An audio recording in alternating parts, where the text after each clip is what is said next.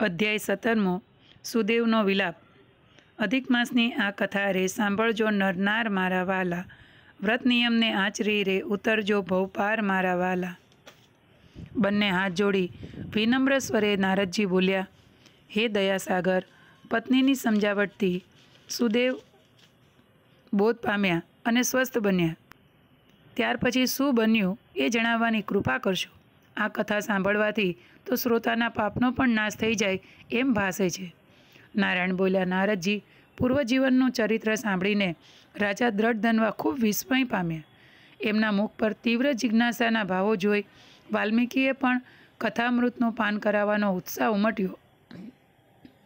વાલ્મીકી બોલ્યા, રાજન, પત્નીને મોડેથી આશ્વાસનભર્યા મધુરા વચન સાંભળી સુદેવના હૃદયમાં હરિભક્તિના મૂળ ઊંડા નખાવા લાગ્યા.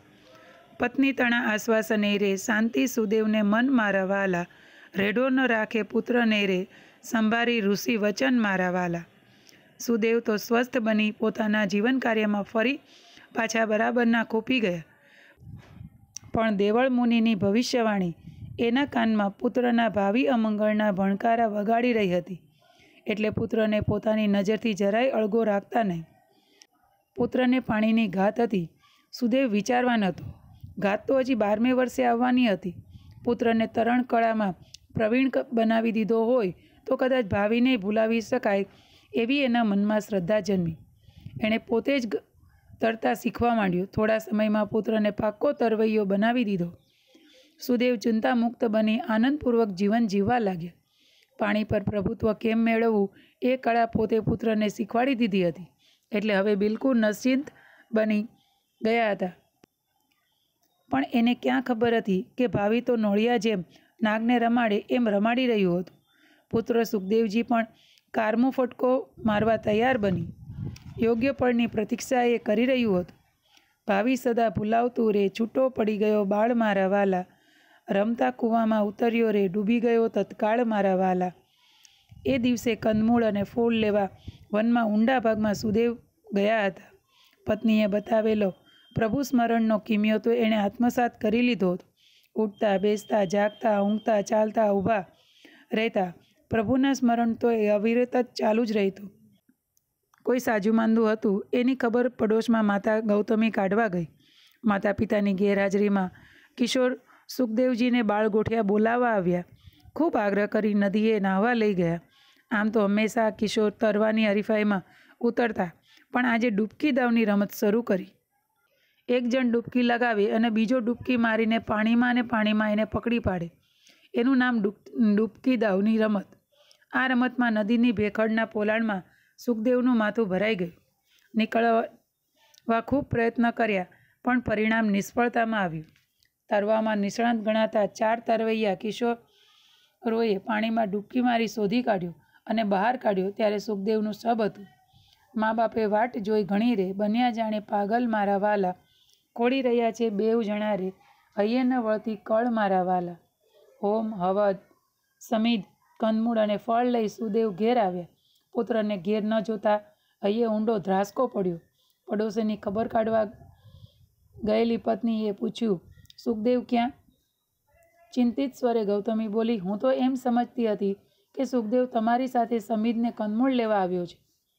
બે બાકડા બનેલા દંપતી પુત્રને શોધવા લાગ્યા. મૂંઝાયેલા કિશોરો સુખદેવના મૃતદેહને ઉચકી સુદેવના ઘેર લઈ આવ્યા.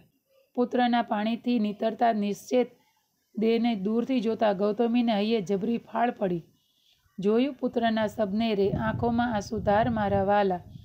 શબ પકડી બેસી ગયા રે, દુઃખ છે પારા વાર મારા વાલા. ગૌતમીની પાછળ ઊભેલા સુખદેવના તો હોસકોસ ઉડી ગયા. ગૌતમી તો પુત્રના નિશ્ચેત દેહને વળગી પડી. આક્રંદ ભરે સ્વરે ગૌતમી પથ્થર પીગળાવી વાણી બોલવા લાગી. અંધાતણી તો લાકડી રે આપીને છૂટવી કેમ મારા વાલા? પાછા, પાછાના વળીએ તું વિના રે. કહે છે મા બાપ તો એમ મારા વાલા. પુત્ર પ્રેમમાં પાગલ બનેલા પિતા પણ પ્રલાપ કરવા લાગ્યા. અરે મારા લાડકવાયા સુખદેવ, અત્યાર સુધી આમ સૂઈ શા માટે રહ્યો છે? ઊઠ ઊભો થા. તારા સ્વાધ્યેયો તને પાઠશાળાએ લઈ જવા આવ્યા છે. પાઠશાળામાં ગુરુજી તારી રાહ જોઈ રહ્યા છે. બેટા, તારી મધુરી વાણી સાંભળવા આ કાન ખૂબ આતુર બની ગયા છે. વૃદ્ધ માતા પિતાને છોડી ચાલ્યા જવાનો તારો વિચાર ભલે હોય, પણ અમે તને હરગીઝ જવા નહીં દઈએ. રામ વિયોગે દશરથજી રે એવા અમારા હાલ મારા વાલા. દુર્ભાગી અમે પૂર્વના રે નથી જીવવામાં માલ મારા વાલા. બેટા, તને છોડીને હું ક્યાંય જવાનો નથી. ફરી પાછા આવેશમાં આવતા સુદેવ બોલ્યા કોઈ દિવસ નહીં ને આજે તને રેઢો મૂકી વનમાં કંદમૂળ લેવા ગયો, તો બેટા કાયમ માટે તને ગુમાવી બેઠો. હું હવે ઘરમાં પણ જવાનો નથી, તારા પિતાનું ઘર તો ભેકાર ભાસશે. ઘરને ખૂણે ખૂણે બેટા તારી સ્મૃતિ પથરાયેલી છે.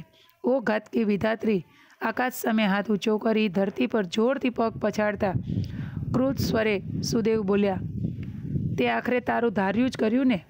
તારે વાર કરવો જ હતો તો મારા પર કરવો હતો. કુકર્મ હશે તો મારા હશે.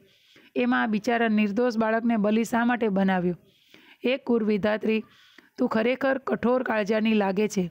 અમારા વૃદ્ધ દંપતીનું આ બાળક જ એકમાત્ર અવલંબન હતું. અમારા જેવા દરિદ્રોને પરમ ધન હતું.